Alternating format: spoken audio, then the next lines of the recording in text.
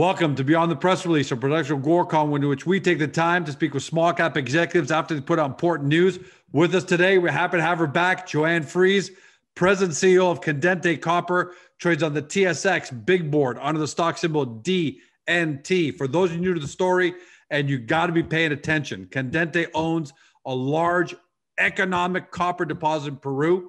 It's the Canariaco Norte, 100% owned feasibility stage porphyry copper porphyry copper deposit uh, that's got it right now 7.5 billion pounds. That's not a typo. Measured and indicated can be mined for 22 years once in production. But who else believes in that? Because that's always the important thing at Agoracom. Goldman Sachs says Canariaco Norte is one of the top 84 projects waiting to be developed worldwide. And they've got as number 42 in South America. So it's attracting their attention. Deutsche Bank says uh, is one of three projects that mentioned.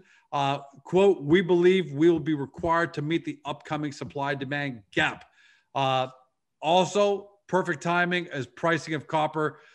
Goldman Sachs expects copper to break all time highs in 2022, raise their 12 month copper price target to 10 and a half, uh, $10,500 per ton. Timing is perfect. Joanne, welcome back. Thanks very much, George. Great to be here. Uh, great to have you because a historic copper shortage loom as prices rocket, according to oh. uh, uh, articles out there.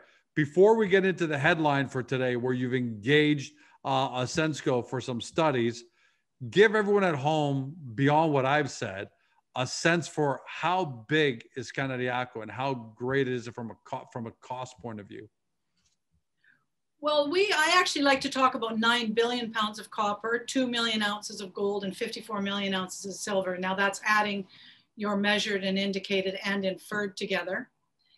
Uh, what's great about Canariaco is that it works at 250 copper, which is around just above $5,000 a ton. And both Goldman Sachs and Deutsche Bank are talking about most projects, sorry, the average incentive copper price um, is over 7,000. So we are not just a little bit lower, we're well below. Everyone's calling for higher prices. You're yeah. already good, right? Oh, yeah. At 290 copper, which is the highest price of copper our sensitivity chart shows, our NPV is 1.6 billion and our IRR is 21.5%. Um, I can only imagine what it is about four dollars. Uh, and when do you upgrade those numbers? I know, I know there, uh, there. Well, we're going to do a desktop study with Ausenco uh, looking at a smaller, higher grade startup. We haven't discussed upgrading the numbers for the bigger project, but that obviously should be done as well. So let's talk about that with Ausenco. What you're basically giving yourself options here, right? Because you've got the mass number that you that I kind of mentioned, then that you added on top of but right. you're giving yourself options the possibility of starting smaller and then working your way up so Tell us about you know what you guys are thinking there strategy wise. Sure. When we first did most of our engineering in 2010, 11, and 12, most well several projects like ours were being sold for four to six, even 600 million, or even higher. And so we were in a big rush to make sure everybody knew that we were very similar to those projects, and we didn't stop to really do do something smaller.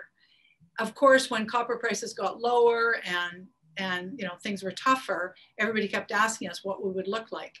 A lot of third parties were doing their own work on our project and and sharing with us that they had results that made it look very or show that it could be very good on a smaller scale.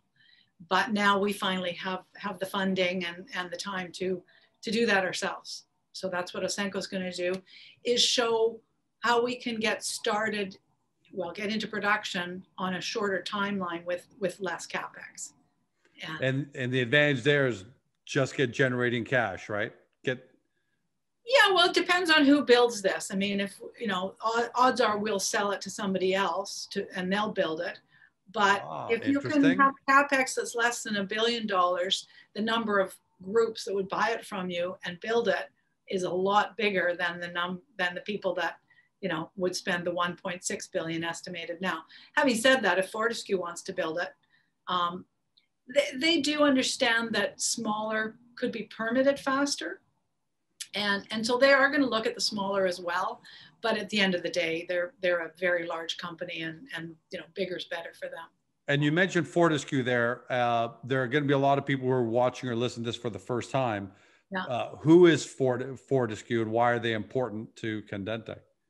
Well, they now own 19.9% of our company, of our shares, and they're one of the world's largest iron ore producer. They're in, based in Australia, but they're huge. I think they're fourth in the world now.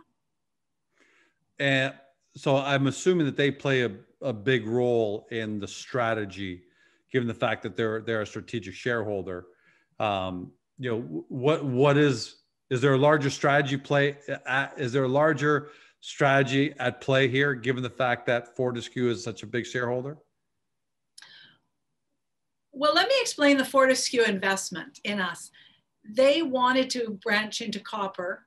They did started a lot of exploration in Ecuador, Argentina, and Peru and I think at some point realized that it might be easier to buy into a discovery already made than to make their own. They're very active in exploration, don't get me wrong, but they got involved with us because they could see that Cañariaco is already very big and could be a lot bigger because we have two other deposits. Now, when I say that, I have to, um, I have to ex explain that. We have a second deposit for sure, Cañariaco Sur. We've got 15 holes into it. We don't know how big it is. We don't know what the average grade will be. We have a third target that we think will be a third porphyry, but we don't have any drilling into it yet. We have the geochem, the geophysics, and outcropping mineralization with some good vertical extent to it in creek beds. So I believe it's another porphyry, but until it's drilled, I can't call it that. But it um, must feel it must feel great to know you have all these options. Oh, absolutely. You, you go so uh, for shareholders. What does that mean for them? You know, how how much more de-risk does that make Candente versus other companies out there? Well, I, I think it's huge because not only do we have Cañariaco Norte through pre-fees and, and part of feasibility, but then then when we look at a smaller, higher grade option for Cañariaco Norte, and then add to that Cañariaco Sur and Quebrada Verde, that'll be huge. It just shows so much optionality. It really widens the scope of the number of companies that could want to buy us out. And on top of that, time is on time appears to be your friend here yes. because every day the copper shortage seems to get worse, which drives prices higher. Um, yeah, how, how, talk to us about where you think copper is going. First well, of all, the first of all the dynamic in terms of supply and demand and then mm-hmm. where you think that might take prices if you guys have any internal models yeah we i won't predict prices but i certainly will talk about why we're very comfortable being in the copper space and why we stayed in it so long and sort of toughed out the, the tough times um, in 2010 11 12 copper was on a roll and a roar and that was because so many third world countries wanted development and places like the United States needed to expand their development or, or renew a lot of their infrastructure.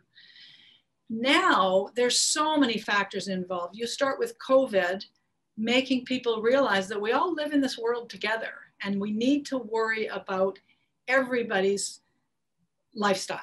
So everybody needs a refrigerator, a computer, they need access to health, they need access to education. Um, and, and in addition to that, viruses only live for four hours on copper.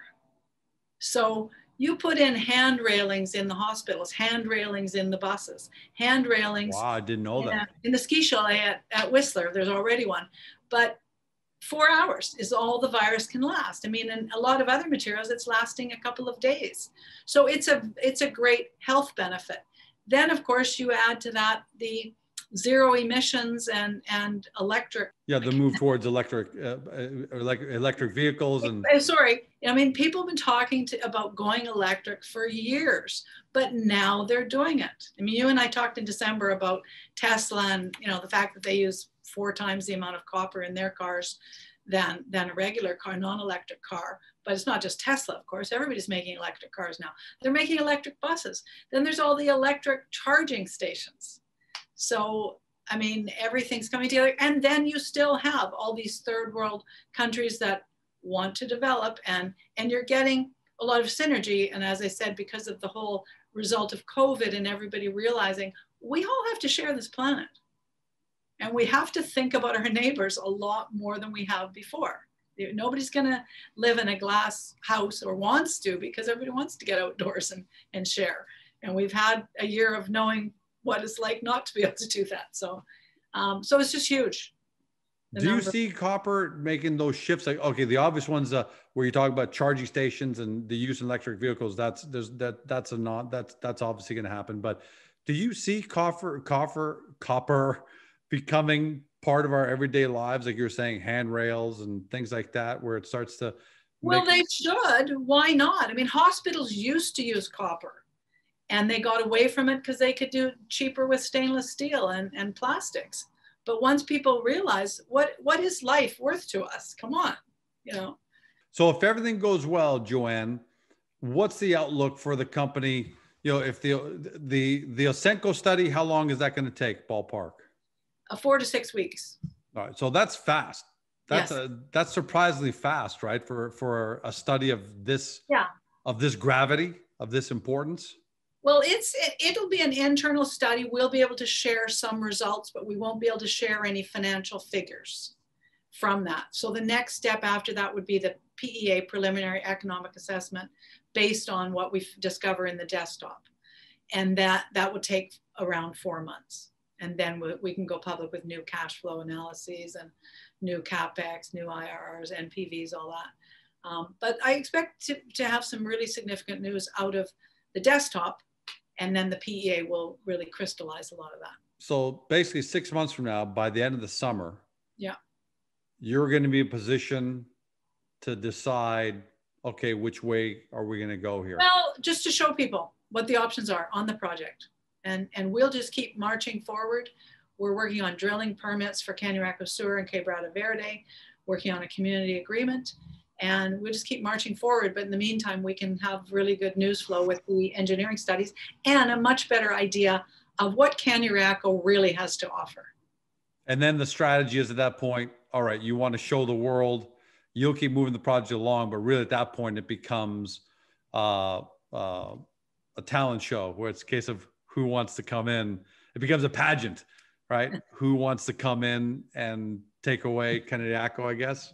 Yeah, well, even as you heard, you said Deutsche Bank is naming us as three, pro- three, one of three projects that they believe will be needed for going forward to to supply the copper in the you know for this big gap. I mean, so, for them to say we believe it will be required to meet the upcoming supply demand gap, is is your phone? Is it fair to say that your phone has been ringing like everybody who would be in this race has at least started to make overtures? Yes i would definitely say so. And and you can see it in our, our share the volume of uh, trading we've had since since you and i spoke. I mean it didn't start the day after you and i spoke but since the end of december actually december 29th was the, the which is as we know last day for tax loss selling. Yeah, let that, we let that get out of the way. Yeah, we really, we were, I was starting to talk to a lot more people in November and December. And then on the 29th, thing just started taking off. And I had, I did one conference um, early February. I had 30 meetings in three days with the institutional shareholders, investors. And even then, your market cap right now is a pretty low market cap relative to. Yeah, it's still around 60, 50, 60 million. Yep. Um, and we were at 250 million in 2011. So that's my target. Get us back there. We still own all the copper we owned then. Um, get us back to that, and then go go go beyond. You know. And and in fact, the the the project is more attractive than it was back in 2011 because we're moving into this this loot this shortage. Uh, exactly as we just said, the, the reason the short, there's so many more reasons for a shortage now than there were in 2011. And so many more people believing it's a long-term need. Yeah. And I mean, I've, I've always felt that copper, as I said before, gold is money, copper is life. You, you need life more than you need money. You need money, but life comes first. And there's just, you know, uh, copper long, long term is, is the metal that is required. I certainly didn't predict COVID, and I didn't predict a lot of the factors that are driving copper right now. But I certainly believe that copper, long term, is a metal that's required for for people to have a good life. And, and again, Goldman Sachs expects copper to break all time high in 2022. They yeah. raised a 12 month copper price target to 10, 10 and a half thousand dollars per ton. What is that per pound? So we can, cause I know we, uh, well, 250 is, is just over 5,000. Right. So, so, they're looking at, uh, they're, they're looking at $5 plus. Yeah. Yeah. So it's not just Joanne saying it because she's, uh, uh she's, uh, she's a conflicted CEO who has to say these things. You got Goldman Sachs saying it. You got Deutsche Bank saying it. So, last question. Fair to say, Joanne, that um, Candente is in a stronger position and maybe even stronger position than it's ever been? Yes. We're not at the highest market cap, but we're definitely in the strongest position. Yes. right. Because as far as position goes, this yeah. is the strongest the company's ever been. Totally. Yeah. Right. Well, you know, patience is a virtue, and you've definitely demonstrated that. And uh, great news to see that this uh, this Ausenco uh, study is taking place, and and that's going to show you my high grade copper sample. Oh yeah, show us what you got like there. Four percent copper. That's that's we found in the creek bed in Cañariaco, almost my first visit. So we're going to be looking for more of that. Keep looking, and in the meantime, the big guys will keep looking at the company, and the magic will happen at some point. But great to see, like I said, this Ausenco study, that you're going to get the options. It's going to be yeah, nice to hear excited. what the options really are. Excited to see the results of that study. There's so many aspects we're going to be looking at, and I know a lot of it's going to be really positive. I you said by the way, you said that you won't be able to share a lot of the numbers, but will there be something you'll be able to share from it when yeah. it when it does come out, just to let yeah. us know, generally speaking, if yeah, it went well? They'll know. We'll know that we can talk about you know the concepts, the resources, and the um, ideas we'll have of how we're going to have a smaller, higher grade, lower capex. But it's just the numbers, cash flow numbers that we can't until we do 43101. Yeah, and that's because the for everyone at home, the There's rules the prevent that, right? You, you yeah. can't talk numbers until the until you've done the the next the next study after that. Exactly. Yeah. Congratulations, Joanne. Great to see Candente moving along, slow yeah. and steady, right? uh, that's what that that's what wins the race. And looking forward to having you back about four to six weeks as we want to hear all about all about the study. Okay, super. Thank you very much. Thank you. Okay. For all of you at home, you've been watching or listening by podcast on Spotify, Google, Apple, your favorite podcast platform, to Joanne Freeze, President CEO of Candente Copper, trades in the big board TSX on the stock symbol DNT. Make sure, especially for all of you who are here for the first time, you do your due diligence. You've heard uh, what Joanne had to say. I've told you what Goldman Sachs, Deutsche Bank, and some very big names have had to say about both copper and Cañariaco. So there's no doubt about the fact that that Candente is sitting in a great position, but you've got to do your due diligence.